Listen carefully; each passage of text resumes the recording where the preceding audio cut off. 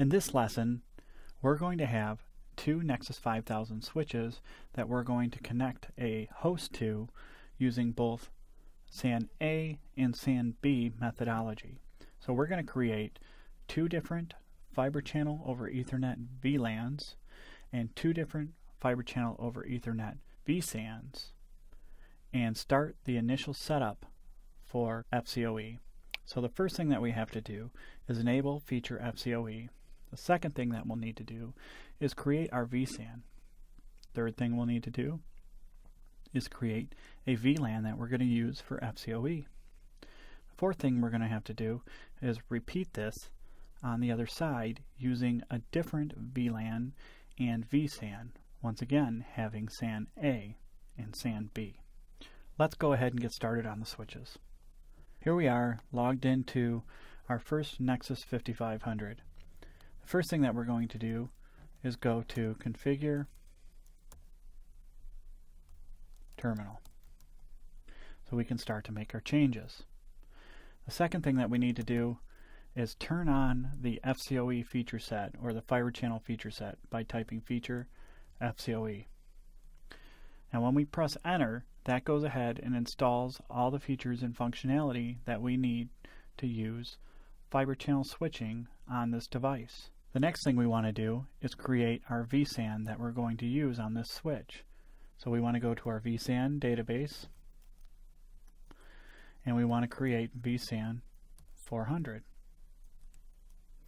Once we've done that, we can go ahead and exit out. We also want to create a FCOE VLAN that mimics that vSAN. If we use the same numbers, it's easier to troubleshoot. So we'll go ahead and say VLAN 400. We'll go ahead and exit out of that.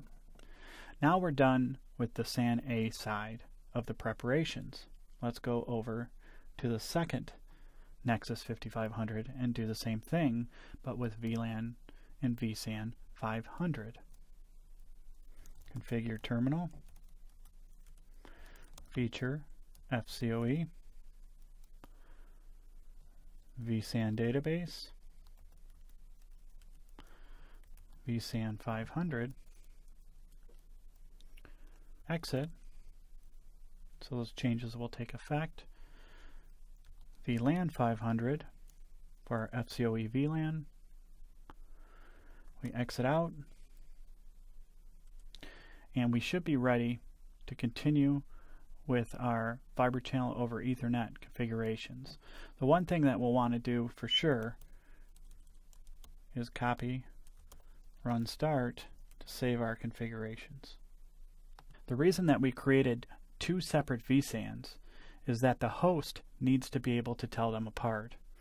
We needed vSAN 400 on one side and vSAN 500 on the other side. So when the host takes a look at those, he knows that vSAN 400 is SAN A and vSAN or VLAN 500 is SAN B.